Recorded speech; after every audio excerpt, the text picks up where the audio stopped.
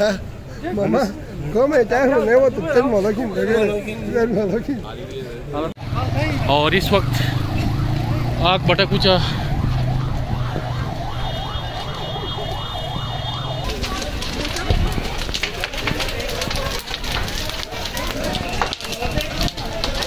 आप क्या आप रेस्क्यू की ये जो कारकर्दगी आप इससे मुतमिन है?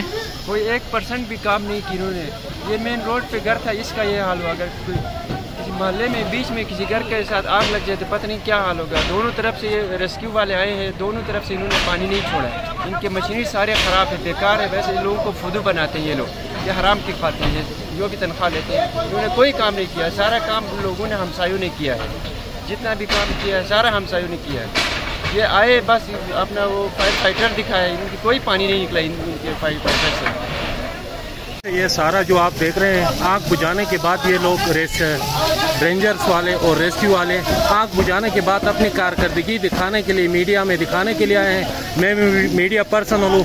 जो सबका वीडियो आपने देखा, यहाँ पे अपने जानों पे खेलते हुए, यहाँ के मुकामी लोगों ने अपनी जान पे खेलते हुए, यहाँ की यहाँ तक इन लोगों ने बचाया। पिछले आधे घंटे घंटे से मतलब यहाँ आग भटक रही थी। ना कोई रेंजर वाला था, न कोई रेस्क्यू वाला था। ये जो वीडियो बना रहे पीछे एक भाई अपनी कारकर्दगी दिखाने के लिए बना रहे हैं। इसमें कोई सदाकत नहीं है।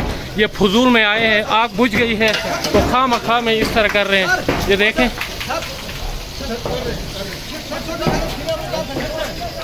ये हमारे साथ हमारे ताहिर साहब ये भी आपके हमले ने आज ज़ीरो कारकर्दगी दिखाई। सब इस वक्त आपके ऊपर गुस्से में हैं।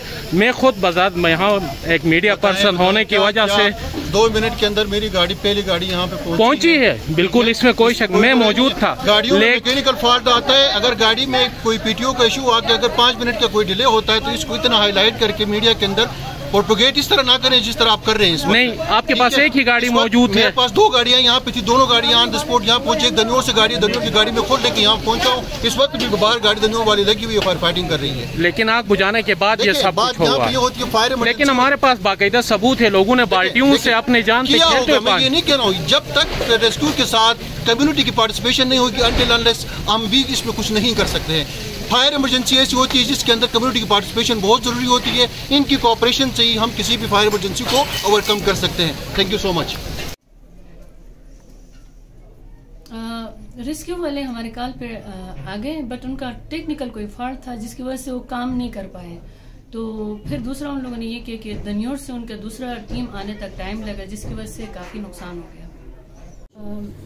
जैसे किचन में अचानक आग लग गई की आवाज़ आई तो सबसे पहले हमारे एडमिन ने ट्राई किया कि उस आग को बुझाएँ स्टिंग्विशर से उसको बुझाने की कोशिश की, कंबल डालने की कोशिश की, क्योंकि हमारे एडमिन पहले ट्रेनिंग ले चुका था सडफ अंडर वहाँ पे कोर्स हो गया था, उसमें वो ट्रेन थे हमारे बच्चे भी, अल्हम्दुलिल्लाह उनकी भी थोड़ी बहुत ट्रेनिंग हुई हुई थी और टीचर्स भी इस चीज़ से वाकिफ थे।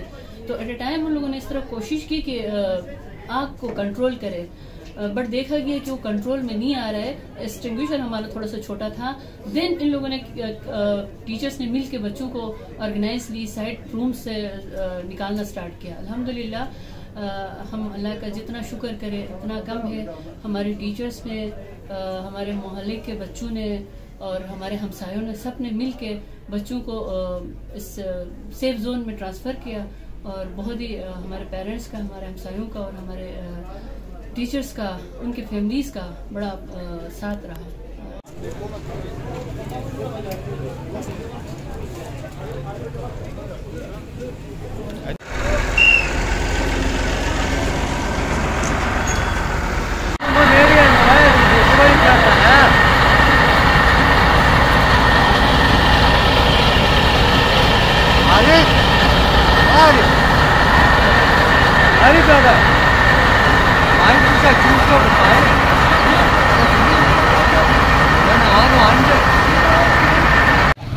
और इस वक्त आग भटक ऊँचा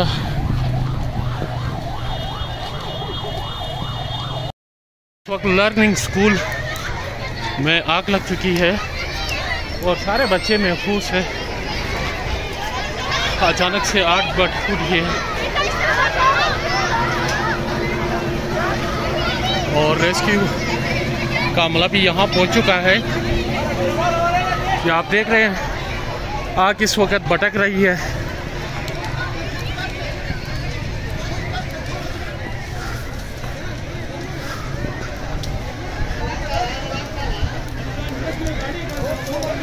विक्टोरियल